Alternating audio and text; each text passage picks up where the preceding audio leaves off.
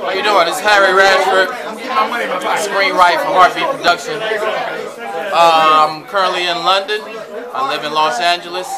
So, if you want to do what I do, which is write, uh, a good piece of advice I heard from someone is writer's write. If you fancy yourself a writer, then you'll just put thoughts on a blank sheet of paper. Then you'll work out the details later. I'm Harry Ratchford, and I support Inspirational You.